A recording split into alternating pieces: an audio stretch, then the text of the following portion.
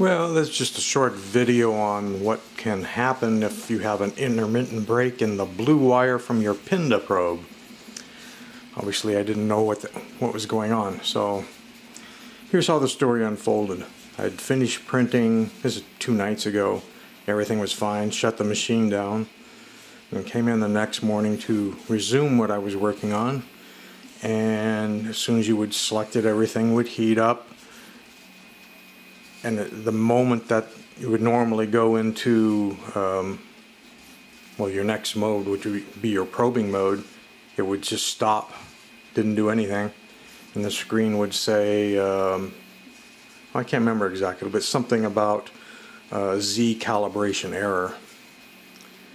And I fooled around with it and I, I found that the Z motors worked. They would move up in fact, you, you could move them all the way up and they would click at the top. And I think finally, out of desperation, I decided I'd just do a, a complete uh, recalibration. So I went into in and said, yeah, let's calibrate and do that whole thing.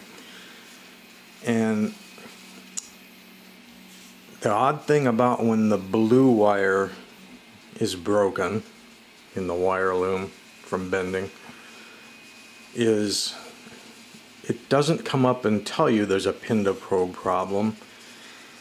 It's just that in that state, that's the same as the PINDA probe sending it, you know, either a positive or a negative signal. I don't know which, I didn't throw the voltmeter on it to find out. But when you go through the calibration, it actually will say Z okay. So X, Y, and Z all passed it would do the heat up bed, that's good. It'd do the nozzle check, that's good. Heat on, heat up.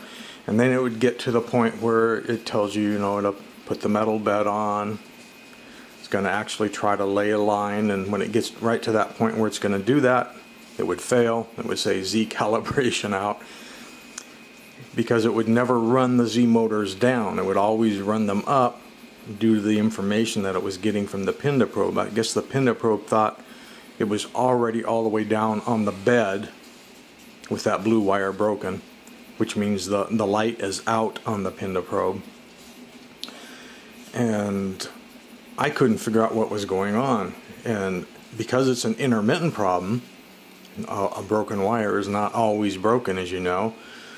Uh, you could look at the PINDA probe and you could, from time to time, like it was up in the air or something, and you'd, well, the light's on. So it, it must be working. And so I ended up doing chat with uh, Carissa and found out, you know, that wasn't going anywhere. They had me do all the things that I'd already done. They had me hit the reset button on the board and do the reset, the total machine factory reset, which if you've never done, which basically means you tap the lower button and so does the word Prusa research here comes up, you hold and push the control button in until you hear a beep and you release, then you get some choices.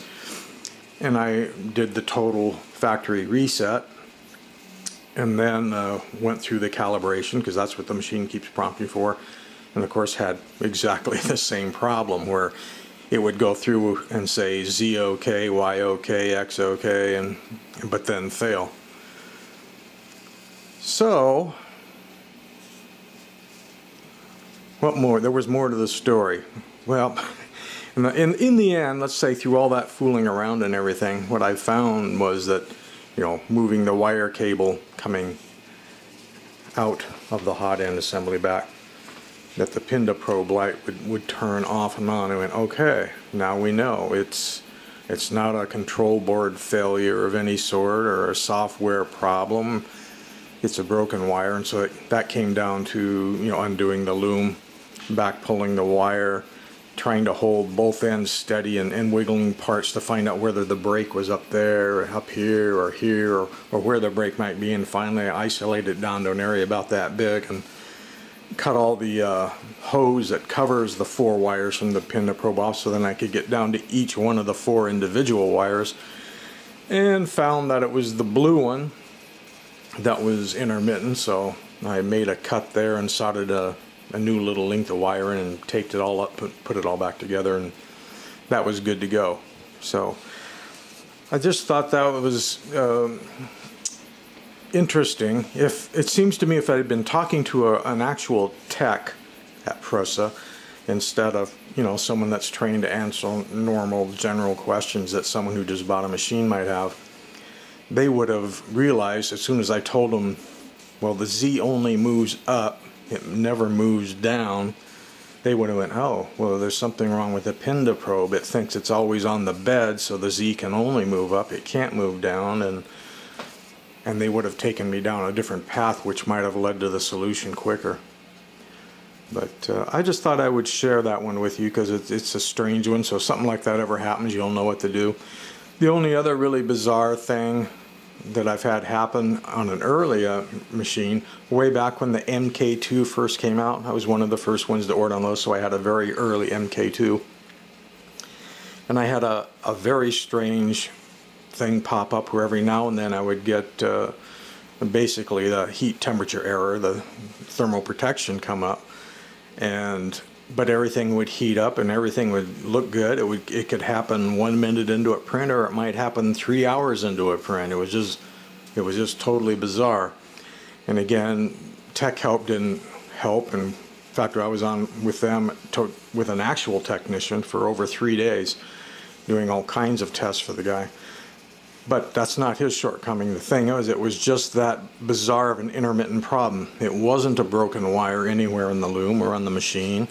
And of course, the heat cartridge wasn't burned out because it would heat up and melt plastic and maybe print for an hour or a minute. You just never knew. But in the end, what it actually ended up being, because the problem got bad enough that I could find it, is the heat cartridge itself was intermittent. Inside the heat cartridge, the constantan wire that's used, would, when it was cool or at certain temperatures, would, would make a connection and the heat cartridge would work. And then other times when it gets really hot and things expand and contract inside that cartridge, it would break and lose connection. So it had to get bad enough that I could actually find where the intermittent problem was and replace the heat cartridge.